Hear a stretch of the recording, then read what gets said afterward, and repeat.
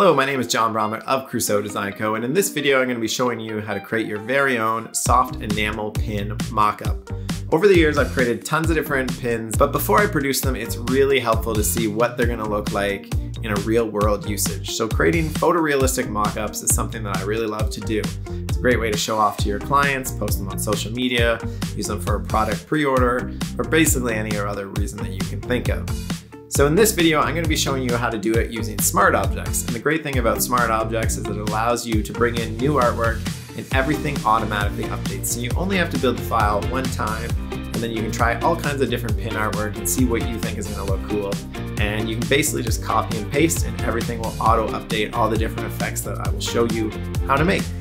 And if you're busy and you don't have time to actually create the file on your own, the good news is I will have it for sale for a very low price and I will put the info below for you to check out. And my version of it will come with multiple different types of metals, backdrops, photo filters, and some great photography by Shier Designs that are really gonna make your pins pop. So without further ado, let's hop into the computer and I'll show you how to make this very cool mockup. Okay, so as you can see here, I've created my document already and I'm going to go backwards and break down exactly how I made this.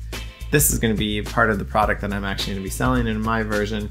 I've got multiple different metal colors and I've got different types of shadows and photo filters and different backdrops and so on. I'm going to show you the basic way to create this so that you can make it yourself. And then the great thing about Photoshop is you can manipulate and test everything that you want to try. So let's go ahead and build our new document. I'm going to drag this out of the way and show you how to do it. All right, so I'm going to go ahead and make mine in inches and you can leave it in your RGB format gonna make mine 15 by 10 inches and 300 DPI. I just want it to be really clean and clear. If I were gonna print it out at up to 15 inches, it would be crystal clear. And it'll be nice and high resolution for on your screen. Okay, so now that we've got our document, one of the first things we wanna do is add in a background. So I'll put the link below to this, but I'm gonna give you some links to some free imagery that you can get off of Unsplash you can, of course, use your own photography, or you could even try and use AI. When I can, I like to use real photos. So thanks to Eric McLean for this photo. So once we've got our photo downloaded, we're just gonna drag it in here. Now I'm imagining that my pin's gonna be somewhere in here, and I want it to be fairly large, so I'm gonna make this quite a bit larger. We're really gonna blow this up. It may be a little bit too blown up for the quality, but I think it'll be just fine for using on our screen, like so. Once we've done that, we can double click our background and just hit delete as we don't need that layer. And you could rename this to background if you wanted to. From there, we're gonna go ahead and we're gonna create two new layers. We're gonna go over here and hit plus, plus. We're gonna right click on this first layer and we're going to convert to smart object and we're gonna right click on the second layer and we'll convert that to smart object as well. So we're gonna call this first one pin fill, as in the colors that go within the pin. I'll call this second one pin outline. So before we get too far ahead of ourselves, I'm going to grab my actual pin artwork from Adobe Illustrator. It's okay if you create yours in Adobe Photoshop, you basically follow the same principle, but I've got mine in Illustrator already. So here's a bunch of pins I've made. I think I'm going to use this one, the skull and the arrow. So all I've done here is taken that and I've added a box behind it. Mine is 3 inches by 3 inches, so we're going to drag over here holding Option to copy it. It's Alt on a PC. I'm going to hold Shift and again Option or Alt on a PC and click and drag it over here. So I have two copies of the same pin. We want to make sure that everything is outlines and merged. So if you need to, go to Object, Expand, do that a couple times maybe. You might need to expand appearance. And then using the Pathfinder, we're going to click Merge a couple times.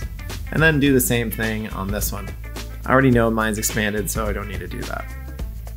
So now we've got these two, they should be identical, and you could do that before you copied and pasted. We're gonna double click to go within this layer, and I'm gonna use my magic wand tool, which is Y on my keyboard. I'm going to select the black, and then I'm gonna hit Command X. That just deletes it, and it copies it to the clipboard at the same time. Now I'm gonna hit Command A, or Control A on a PC, and delete everything else. Lastly, I'm gonna hit Command F, which pastes it in place. Again, that's Control F on a PC, and we can double click to get out of here. Now over here, we want to do similar thing. We're going to come in here using our magic wand, Y on our keyboard. We're going to select the black, and then we're just going to hit delete. We don't need it on this version. Double click to exit. Now all we need to do is turn these red rectangles into a no fill. So selecting them both, we'll go over here and click none. If any of the two panels that I've shown here so far aren't showing up for you, just hit window and go down to Pathfinder to make that showing and click color to make sure that's showing. So now we're ready to jump back into Photoshop. So the first thing I wanna do is copy my outline here. So Command C, Control C on a PC, and go back to Photoshop and in my pin outline, it's important that we double click to go into a smart object. And I'm gonna hit Command V or Control V to paste. And I want to select smart object just in case I need to edit it in the future. Now the size here is gonna be, depending on how you created it, I find that about 250% is pretty good. I want it to take up most of the artboard. You go a little more, a little less, whatever you're comfortable with. But make sure that you memorize whatever you put in here because once we hit enter and save, which is Command S or Control S, we're gonna pop back in this file and now we're gonna double click the pin. Here we have to go back over to Adobe Illustrator and we're gonna select that other box in the other part of our artwork. Command C, which is Control C on a PC. And we're gonna go Command V, Control V, and we do want to do a smart object again. And we also importantly need to make this 250% as well. Make sure that you've got this clicked so that you maintain your aspect ratio. Now we're going to go ahead and hit enter and then command S to save.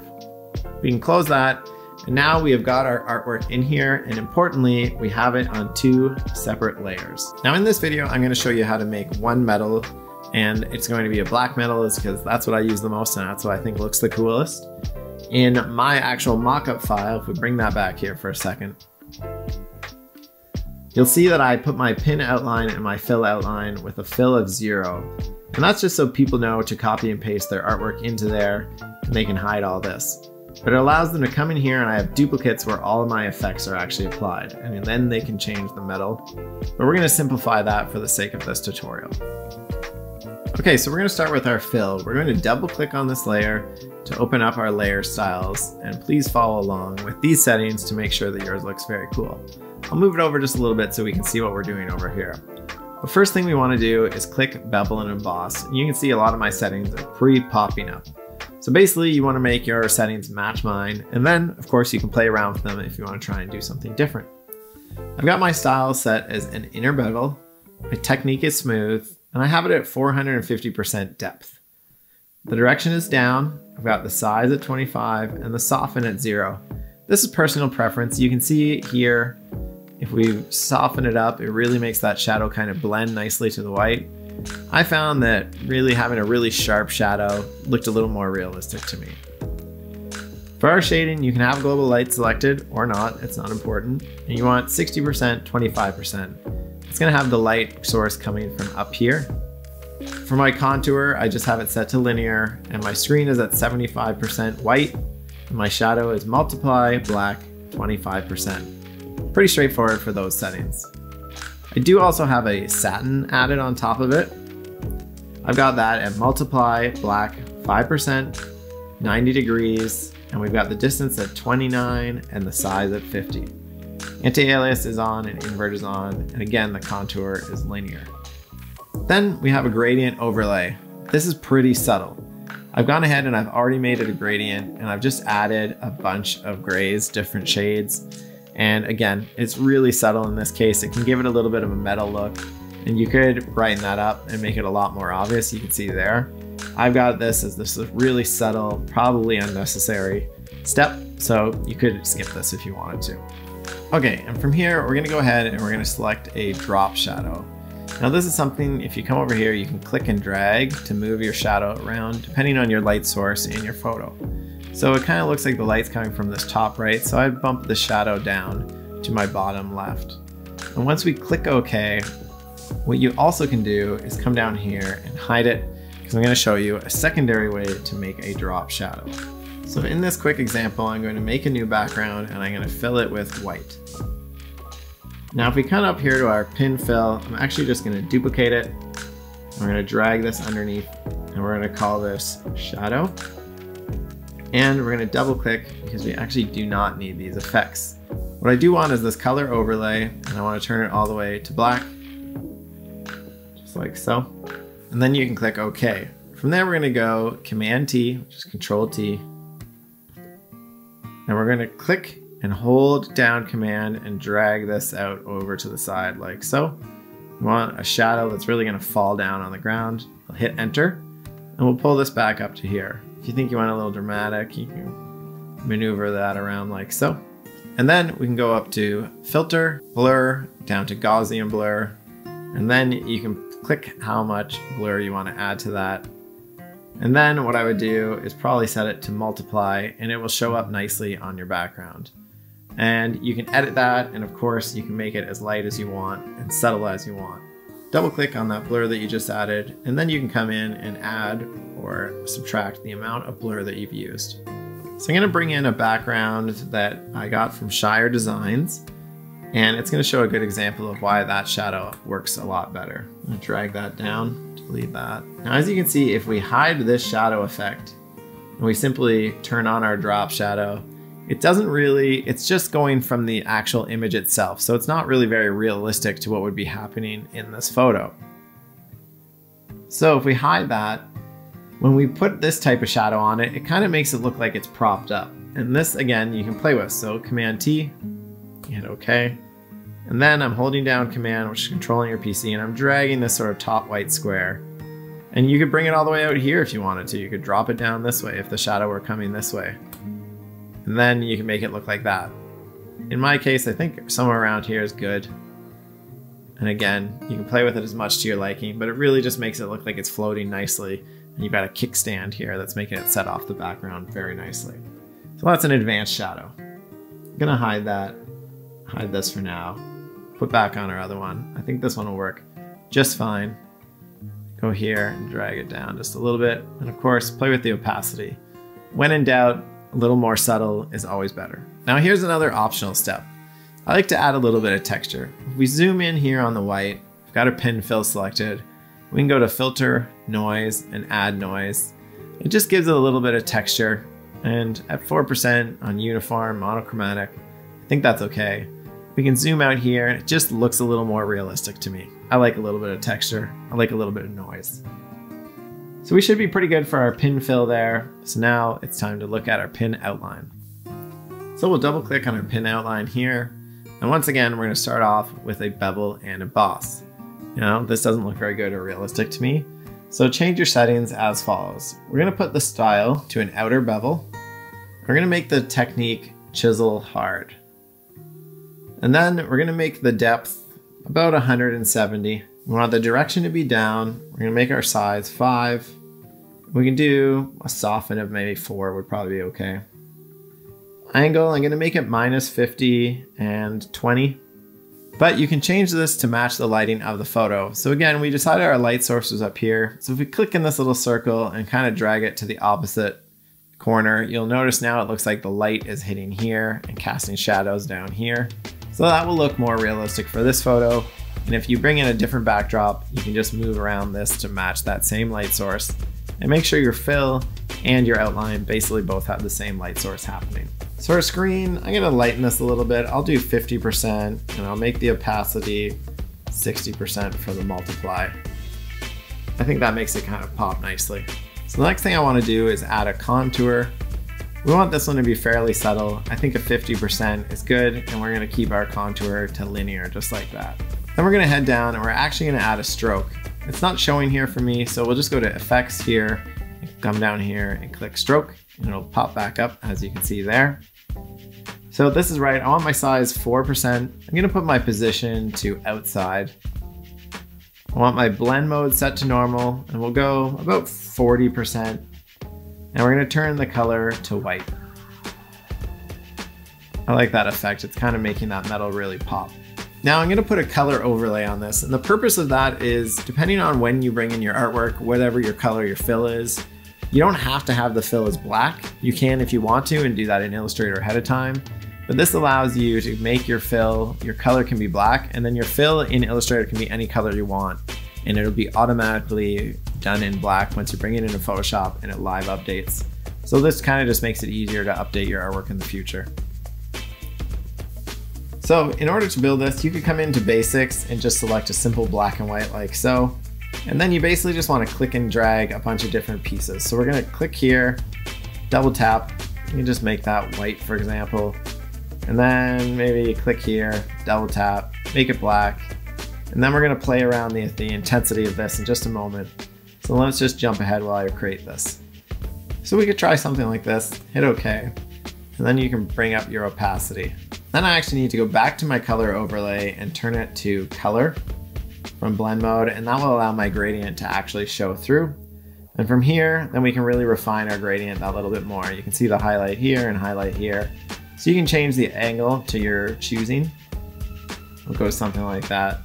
And in my case, I want it pretty subtle, but let's just crank it up so you can really see. Let's hit okay if we zoom out here. You can see that gives the metal a really shiny look. Shiny, glossy type fill just like so. And again, you can play with this and get the angle that you think looks right, or you can just have it turned off completely. I'm gonna go with a quite subtle, but not completely invisible, at least not on my screen. So go ahead and click OK. And once again, if we zoom in here, I like to add that little bit of texture. So we're gonna filter noise and we're gonna add noise. You go to whatever you think looks good. I'm gonna say 10 is pretty good for me. You can see it just adds that little bit of noise. It's kind of like a nice film grain on a photo. It kind of almost makes it seem like it's extra high quality when you zoom in and you can see that noise just a little bit. And just like that, we've got a pretty darn photorealistic looking mock-up. In my version that I have for sale, I've also created additional options and additional textures to really give you lots of variety. But I've basically made a silver version and a gold version, which you can do following similar steps to what I've done here. And you can experiment, of course, as you choose. Now, one of the great things about creating this is we can simply hop back into Illustrator and we can grab a new design. Let's say it's our bear here. And I've already gone ahead and pre-created these, so I'm just gonna copy and paste by double clicking on our pin outline, pasting it here as a smart object. I'm gonna go about 250% again. Make sure I hide my other one. Save. Then I'm gonna repeat the process over here. And you can see even while I'm talking, I'm moving relatively quickly, but not as fast as I'd go if I wasn't trying to teach this. And just like that, we've completely updated our pin. And of course, if you find this too big, rather than manually coming back in here and resizing it, you could simply select these two layers. I would add your shadow too. Select all three layers, click OK, and then you can just resize as needed. Another little pro tip, I think, is we'll move this guy over here bring him in just a little. My little pro tip is make them on an angle a little bit, you know? Pins are never sitting totally flat, are they? So something like that I think looks pretty darn cool. And if you were to export this, you're gonna see you've got really good high resolution graphics. And these shadows look great. And again, it's Photoshop, so if you wanna change anything or manipulate the artwork in any way, you can do so on the fly. All right, hopefully you found that interesting. So I am selling my version of the mockup with all the things I mentioned earlier. They're gonna be available, the links will be below because they're gonna be on multiple different websites and my own website, which is crusoedesignco.com. Check out the info below if you do wanna purchase it. Also like, comment, subscribe, that kind of stuff, and I'll keep making videos. Thanks everyone, see you next time.